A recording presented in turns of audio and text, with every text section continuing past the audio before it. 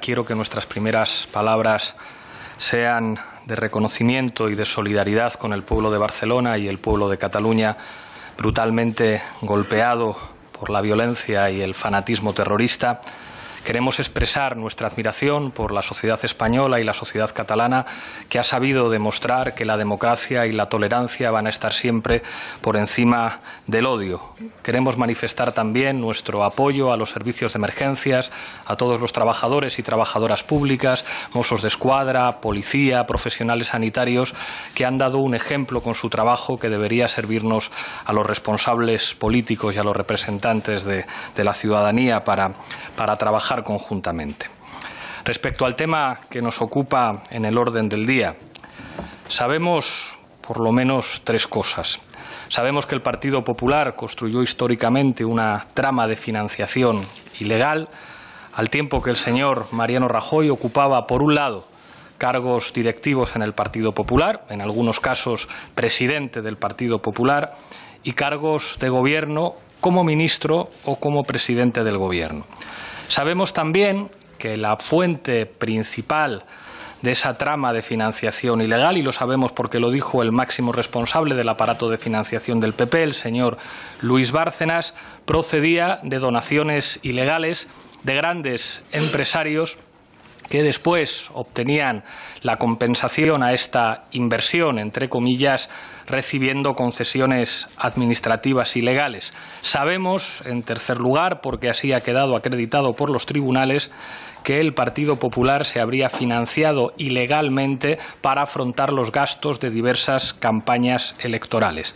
Sabemos, en definitiva, que el Partido Popular construyó una trama, una trama de corrupción que ha costado miles de millones de euros a los ciudadanos españoles y que se ha traducido en que los ciudadanos de nuestro país tengan unos servicios públicos peores, tengan una sanidad peor, tengan una educación peor o tengan una seguridad peor porque el coste de la corrupción del Partido Popular ha implicado menos recursos para afrontar los deberes gubernamentales que corresponden a todo a todo dirigente con responsabilidades administrativas. Y básicamente por esto, el señor Mariano Rajoy, en un momento, en un acontecimiento excepcional, tuvo que declarar en la Audiencia Nacional. Y lo que vimos en la Audiencia Nacional fue sencillamente vergonzoso.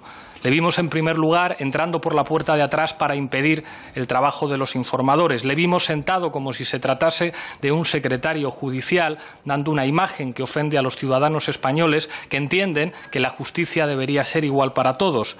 Le vimos haciendo chistes y bromeando. Le vimos siendo defendido nada más y nada menos que por el abogado del señor Bárcenas y le vimos, en definitiva, diciendo yo no sé nada. De esta conclusión fundamental de la declaración del señor Rajoy en la Audiencia Nacional, yo no sé nada, se pueden extraer dos conclusiones. O bien el señor Rajoy mentía, o si no mentía, era enormemente incompetente porque haber sido presidente del Partido Popular, ministro y presidente del Gobierno y desconocer la trama de corrupción que había orquestado su partido demuestra una incompetencia seguramente incompatible con ejercer responsabilidad pública alguna.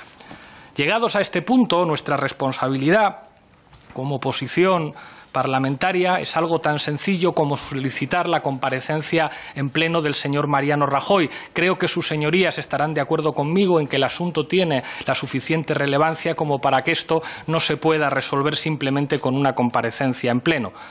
Y quiero agradecer enormemente al Partido Socialista y a su secretario general la disponibilidad para ponernos de acuerdo en la presentación de esta solicitud.